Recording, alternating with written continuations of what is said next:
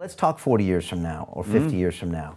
What, what, what could that look like? You're talking about brain implants, you're talking about me digitally printing some kids, or you selling me some kids. But like, what, what's something that we should just accept now that could be a reality? I think once we have a technological singularity, meaning AIs are much smarter than people, Okay, can we define that singularity? What is Um, that? singularity is defined as a point when the rate of technology advance is so fast that from a human point of view it appears infinite. Like say that the ais in the global brain network are making new nobel prize level discoveries every five seconds right? And what's going to come along with that is you know, molecular nanotechnology where you can just build anything out of molecules the way we would now out of Legos or, or in a machine shop, and the ability to cure human disease and, and, and, prevent death by just sending little bio nano probes in, in, into the body to fix things, and 3D printing that, that solves material scarcity on the level of everyday human needs. So, I mean, I mean having all these technologies coordinated together is going to be a fundamentally different regime of life than we have now. That's mind-boggling. I mean, to me, to think that's about. just the beginning. and that happens every five seconds. The thing is, this is the focus on the external machinery. But if you think about your state of consciousness, imagine that you had, you know, access to reprogram anything in your mind whenever you wanted to. So you're like, well, I, you know, I, I wish I didn't feel like eating so much junk. Okay, let's load the patch. Don't want to eat junk. Ding, you're done, right? Well, you know, I wish I wasn't attracted to this type of girl. Okay, ding, I'm attracted to that that kind instead. Like, I'd like to be able to, you know, focus fully for the next five months on this. Okay, let's load the focus patch. You can do that, right? So, the ability to rewire your brain at will. I mean, mental illness of the kinds we're familiar with now uh, are gone. Unhealthy relationships are gone unless they're specifically what turns you on, right? I mean, so that's it- assuming the machines let us survive. Then Yeah, that- yeah, then we have these options. Oh, yeah, yeah. So w- what I think is going to happen is we'll each have two options. So, option A, you fuse your brain into the super intelligent mind matrix, then you become part of something billions, trillions, quadrillion times more intelligent than you were. On, on the other hand, probably you lose your illusions of individual, individual self and, and, and free will and your nostalgic attachment to your human memories. And, And I your mean, body, you lose your body as well. you lose the requirement to have your body. You Right. could have your body, but if you can see through a billion bodies at one time, this one body becomes arbitrary, right? I mean, I, I, I think that that's one interesting option, and there's a question of how fast you want to fuse with this supermind. If it happens in one second, or do you want to phase it gradually over a year or something, right? so All right. that hopefully that's your choice. who knows? And then why have new But- humans if we've already got all Well, these? that's one option. So now, option B is remain in a form very similar to the human form we have now. Get rid of death and disease. Get rid of mental illness.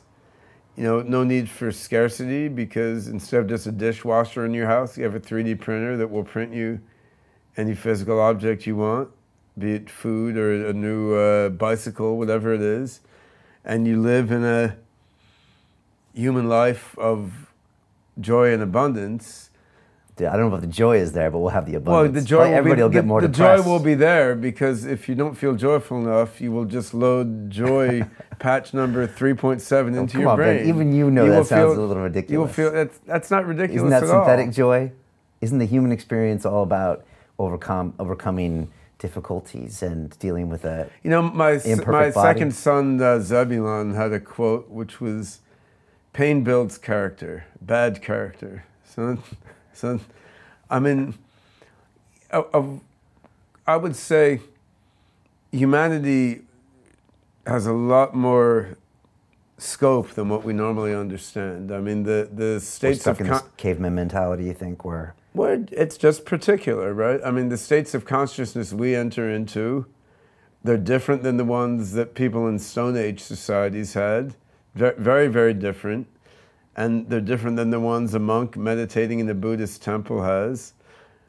And, you know, they're very different than the mentality people will have in the future era of, you know, human abundance I'm envisioning. I think the brain is capable of a lot of states of consciousness beyond what we enter into on, on an everyday basis. Like if, Okay. if you could experience what the average guy in the UK in 1350 was experiencing day to day, it's going to be very, very different than the way.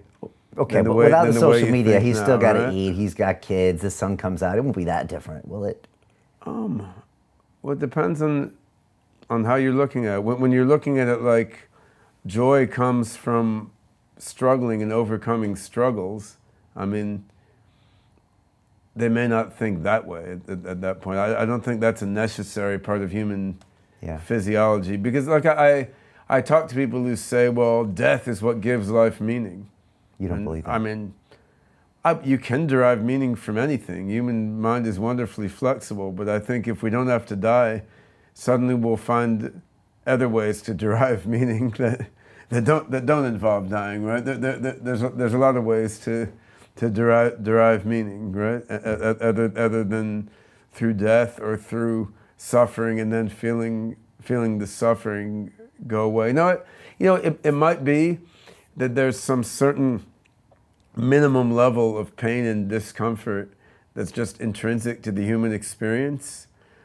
My feeling is we habitually experience much more than that minimum level right now. Because where do you stop? Like you go you go to the middle ages. I mean it's not that like half your kids would die as babies right? I mean very high percentage of women dying in childbirth b- b- back then right? And mostly your teeth would rot by age 40 you'd have a toothache in your mouth all the time because there was no dentistry right? And so you could look at the way people lived in the middle ages and say well suffering is intrinsic to life. It, it's just natural that half your kids die as babies, half the time your wife dies of childbirth, and you have a toothache all the time because all your teeth are rotten. But now we look at it and we're like, no, that's totally unnecessary, right? So I think a lot of the thing suffering that we take for granted is part of life now okay. will seem totally unnecessary. The, the thing is, humans in that era, they'll be human because they choose to be human, because otherwise they could fuse with the superhuman AI mind matrix. They choose to be human for their own aesthetic reasons, essentially. And, and why not? I mean, I, don't think every dog or bird should become a human just because we're in a way more generally intelligent than they are, right? I mean, every creature in the ecosystem has some beauty and integrity to it. Hum- humans do also, right? It, it, it's not like we're morally bound to uplift ourselves to become superhuman AIs and, Okay. and, and, and give up our, our humanity. The thing is, the humans will be like the squirrels in the national park are now, right? They're, they're carrying out, the squirrels in the national park are carrying out their lives. And we who take care of the national park don't intervene in their love affairs or their hunt for acorns either. On the other hand, there is a world outside that park which they can't understand, and if they run out of it, they may get run over by a truck.